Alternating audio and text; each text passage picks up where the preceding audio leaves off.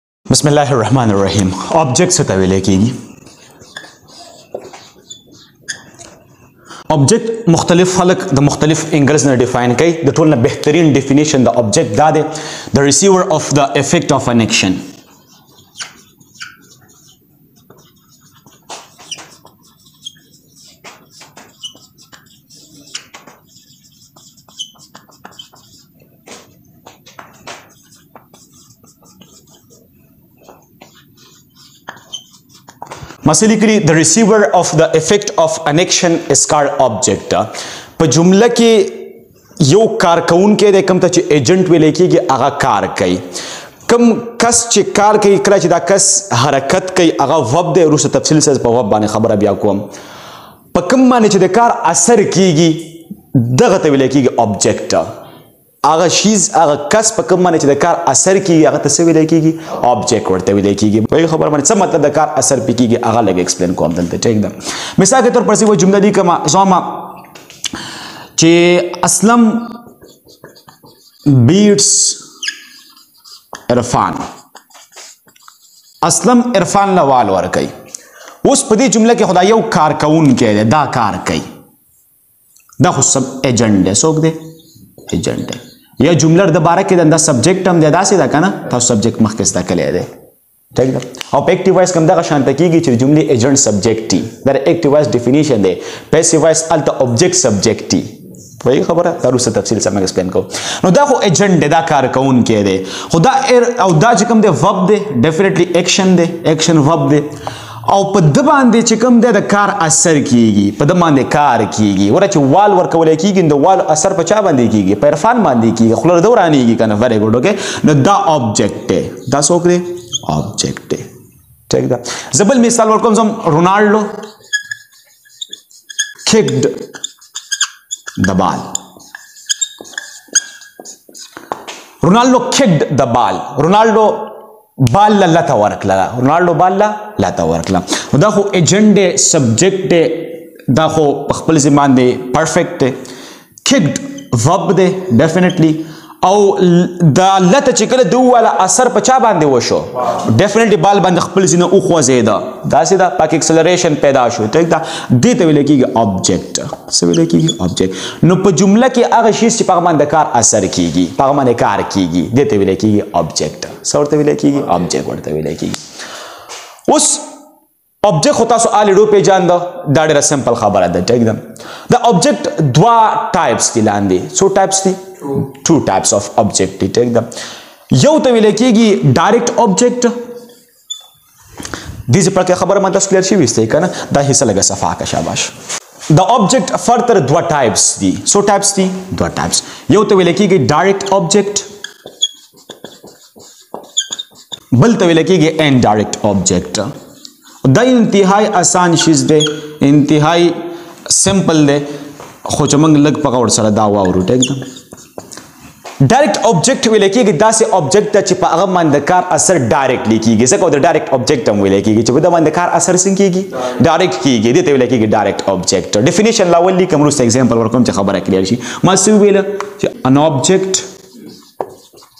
which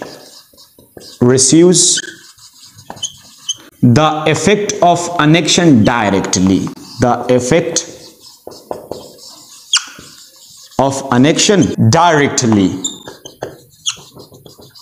SCAR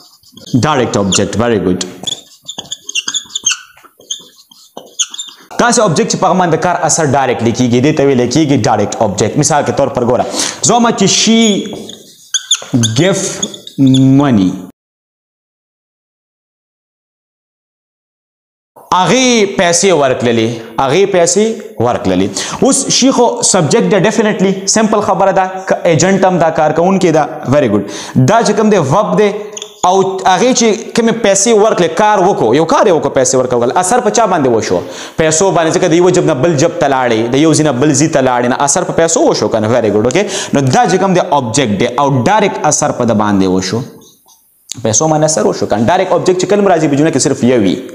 ویګه خبره باندې دا انډایرکټ کنسپټ ال راځي چې کله په جمله کې دوا دوا آبجیکټس راشي به یو ډایرکټ یو انډایرکټ کله کم یو به ډایرکټ کم یو به انډایرکټ موږ بری ته ګورو چې ډایرکټ اثر په چا باندې شوی دی او انډایرکټ اثر په چا باندې شوی دی نو چې هغه پیسې ورکړي خو ډایرکټ اثر په پیسو باندې وشو کنه ویری ګډ اوکې یا مثال کې زوما چې آی سنت message I sent message ما میسج ولېګو نو ما چې کله میسج ولېګو اس زه خو ایجنټ شوم سنت وب دی او اثر په چا باندې وشو میسج باندې ما سیو میسج راسو او هغه د یو ځینه بل ځای ته لاړې په خبر باندې ته اثر ویل کیږي اثر مطلب دا نه چې وای خپل بری او چې شی ورانی کې شکل به بګړاویږي په خبر باندې دې ته ویل کیږي اثر په د باندې وشو ځنه بل ځای ته لاړ دا آبجیکټ دی دا څه شی دی آبجیکټ دی ویری ګډ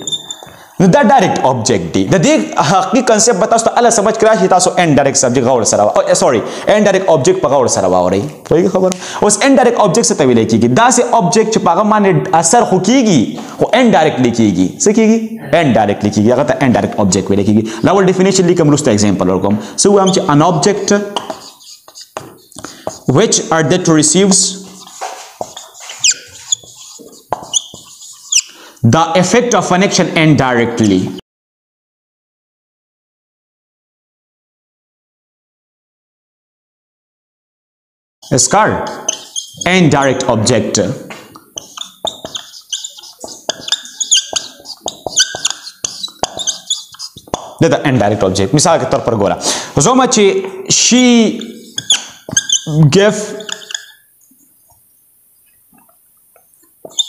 She gave me money. هغه مال روپۍ راتللې هغه مال روپۍ راتللې و شي خو سبجیکټ دی ګف وب دی ډیفینیټلی اوس په دې کې دوه ابجیکټس دي یو پکې می دی ځکه په دمانه اثر خو شوی دی کنه پیسې او ته ملاو شي ویلې سو ته ملاو شي پیسې او اثر په پیسو باندې شوی دی یو ځینه بلې ځتلی او تاسو ماته ډایرک اثر په چا باندې شوی دی منی باندې ویری ګډ ډایرک اثر په پیسو باندې وشو ځکه یو ځنه بل ځت لاړې او ان ډایرک اثر په چا باندې وشو په ما باندې ځکه چې ما ته خو پیسې هم را لې کنه په ما باندې مسر وشو په پیسو خو یو من ډایرک وشو پیسې را واخستل شو ان ډایرک په ما باندې ما راکړل شو ولې ټیک دا ډایرک چې په کوم باندې اثر شوی دا ډایرک آبجیکټ دی او دا ان ډایرک چې په کوم باندې اثر شوی دا ان ډایرک آبجیکټ دی وایي خبره زبل مثال ورکوم کوم چې ما الته لیکل مثال کتو پر ځما چې آی سنت you a message i sent you a message ما تا ته میسج ولېږو ما تا ته میسج ولېږو سبجیکټ ورب په دوه باندې اثر شوی دی یو خو په تا باندې اثر شوی دی په میسج درغلی دی که نه ویری ګوډ او په ام میسج باندې مشوي ځکه میسج یو ځینه بل زیته تللی دی کنه ډایرکټ اثر په چا باندې شوی دی میسج ویری ګډ ځکه دا لګل شوی لاول خو میسج کیسه وکنه لاول میسج وو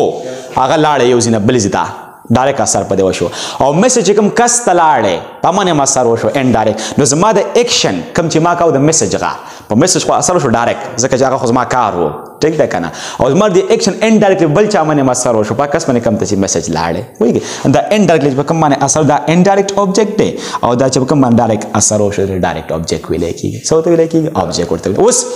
دا خبره انتهای امپورټنت ده ګوره